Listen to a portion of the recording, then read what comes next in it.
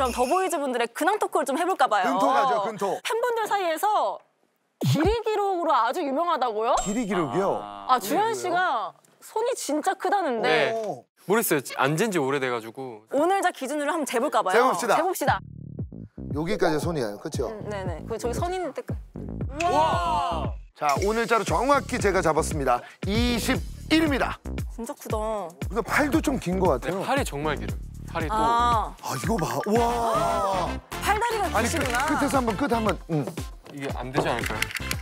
안 돼, 안 돼. 안 돼, 안 돼. 안 돼, 줄자가. 와, 인간 자네, 인간 자. 아. 이렇게 한번 해보세요. 해서 갔을 때 겨드랑이 먼저 닿는 사람이 긴 사람이거든요. 한번 어. 수치스러워. 자, 해보세요. 갑니다. 하나, 둘, 셋. 쭉 가요. 제 간지럼이 진짜 많아서 형이 근데 달리가 없어. 네가 달리가 없어. 내가 정확히 꽂을 거야. 겨드랑이로. 갑니다. 하나, 둘, 한 발 먼저. 사. 오케이. 오케이. 간다. 간다. 어, 어, 아, 어, 아. 아 안 났어 다행히도. 네.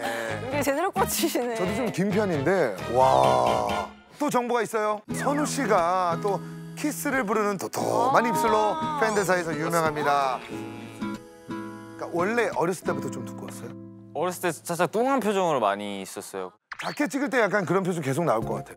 뚱한 표정 하면은 이렇게 입술이 좀 부각돼서 많이 보이는. 그래서 MSM들이 립할 때도 계속 입술 반으로 줄여주시고 막 그래요. 아, 진짜 너무 두꺼워서. 와, 네. 난 오버립 하려고 막 더 채우는데 더, 더, 지우시는구나. 더, 더. 더, 더, 더. 더 이렇게 하는. 윗입술부터 아랫입술까지 한번 위아래로 제가요? 한번 재보도록 하겠습니다. 편안하게. 자. 2.7, 2.7cm. 아, 이슬 씨가 두껍구나. 어? 어, 입술 두툼한데요? 어, 어. 한번 재보도록 하겠습니다. 1점 1.7. 1.7. 아, 1.7? 확실히 달라요. 다르네. 저도 이제 아이돌 분들 많이 인사드리고 방송도 같이 하잖아요. 근데 어, 외모적인 부분에서는 거의 top class 같아요. 아, 그쵸. 영훈 씨가 성형외과 의사 선생님이 꼽은 약간 잃게 만드는 미모시래요. 딱 보면은 그러니까 할 그냥 게 그림 없다. 같은 거지. 어, 보자마자 만질 게 없다. 할 말 이렇게 그냥 어, 만드는 말을 못 하는 거예요. 너무 좋은데요?